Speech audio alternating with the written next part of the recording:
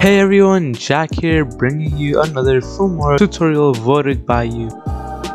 So if you guys don't know what Twixtor is, it's basically used to make your slow motion clips look much smoother. Also, if you'd like to support me, consider using code YoJacq and like this video as it helps a lot. So to start off, the number one tip I would give is uh, to start recording your clips at 120 FPS. Just a quick explanation, if you lower your clip duration by dividing it in half, the frame also gets divided so if you're editing a clip that's 60 fps it's going to be into 30 fps which doesn't look as good.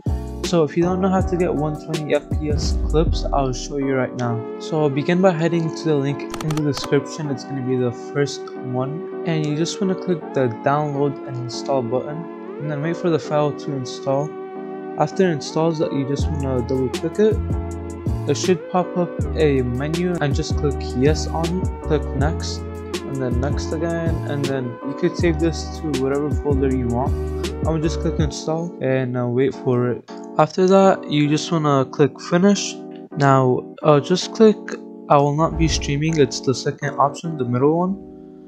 And just click next go to the plus sign and click the display capture this will uh, start recording your display once you tell it to. After that, you just want to click on the settings output section, it's the third one, and go to the video bitrate, make that 40,000. Uh, make sure the encoder is on hardware and uh, audio bitrate 320. Just click advanced encoder settings and change it to low latency quality. After that, go to the recording format and change it to MP4. Click enable replay buffer and that's how long the clip will be. So for me, I want the clips to be 30 seconds long. Alright, after that you want to go on the video section and change the common FPS value to integer FPS value and make it 120. So next you just want to click on the hotkey section and basically you could set uh, any keybind to start uh, clipping. So just go down to the replay buffer and save replay and click a button that you want to press to uh, save it with. That's the keybind where you tell it to start recording the footage Alright, so for tip number 2, I suggest you start editing your clip in 30 FPS or 24. That's because when you time remap your clip, it's to get divided like I said. So if you're editing in 60 FPS, it's to get 30. So if the project file is showing 60 FPS, the clip is to be 30, which is to make it look choppy. Alrighty boys, so to get started, I'm to show you the two Twixtor effects that you could apply. And keep in mind, I already time remap this just so I don't waste your time. I'll leave the clip in the description if you want to follow along with me. Alright, so the clip one is my time remap clip and the glow away is the original one. I'm gonna find the part where I start time remapping it and it's like right about over here add a cut and also you want to go to the effects and then just scroll down all the way to the utility right over here shape mask and then disable this first track and then you want to increase the feather all the way up and just mask around the skin. Doesn't have to be exactly perfect. And same thing with, with the height. Alright so now that we masked our clip I'm gonna just add another copy of the original footage just in case we need it and paste that in and you also want to be random when doing the effect because it's gonna look much better if you do it randomly.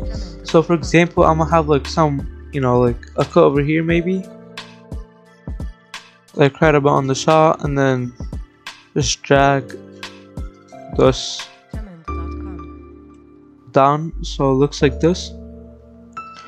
And you want to go to the transition and select the morph.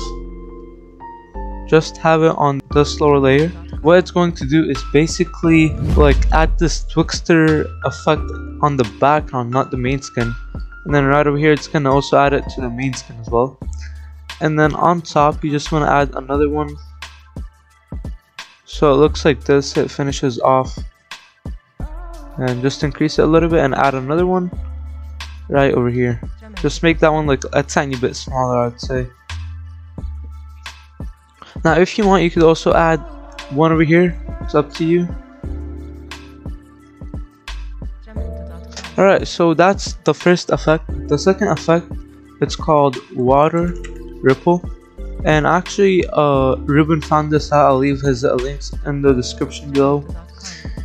It doesn't matter for the settings. You could lower this down. I suggest you lower it like this, but I'm gonna keep it the same. And yeah, that's basically the whole effect. Now, I'm gonna just add a quick shake and we will be done with this video.